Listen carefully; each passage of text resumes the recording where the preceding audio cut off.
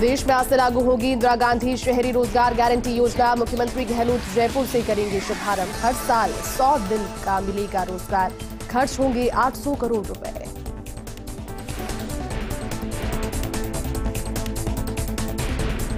जोधपुर में भाजपा ओबीसी मोर्चा की दो दिवसीय राष्ट्रीय कार्य समिति की बैठक। डॉक्टर के लक्ष्मण और भूपेंद्र यादव करेंगे उद्घाटन।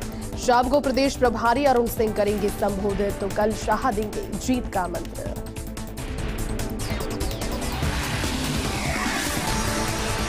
जयपुर में पुलिस कमिश्नरेट के हुक्काबार पर बड़ी कार्रवाई। शहर में सत्तर से अधिक स्थानों पर एक साथ दी दबिश पुलिस ने संचालकों को भी किया गिरफ़्तार।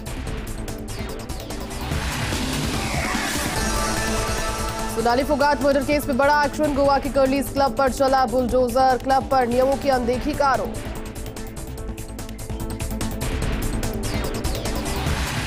दिल्ली के आज़ाद मार्केट की चार मंजिला निर्माणाधीन बिल्डिंग गिरी। तीन मजदूरों की मौत। रेस्क्यू ऑपरेशन जारी।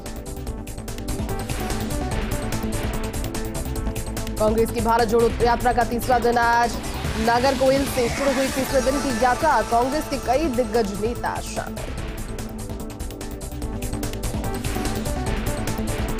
दिल्ली से fit India freedom rider biker rally शुरू, केंद्रीय गृह मंत्री अमित शाह ने दिखाई हरी झंडी। पचहत्तर दिन तक छह अंतर्राष्ट्रीय सीमाओं सहित चौंतीस राज्यों से गुजरेगी रैली। केंद्रीय गृह मंत्री अमित शाह से प्रदेश के दो दिवसीय दौरे पर जैसलमेर के डाबला में बीएसएफ हेडक्वार्टर में अधिकारियों की लेंगे बैठक। जवानों के साथ ही गुजारेंगे भरतपुर के जोरहरा में बदमाश उखाड़ ले गए एटीएम प्राइवेट इंडिया पर बैंक के एटीएम में थे करीब 33 लाख रुपए। पुलिस खंगाल रही सीसीटीवी फुटेज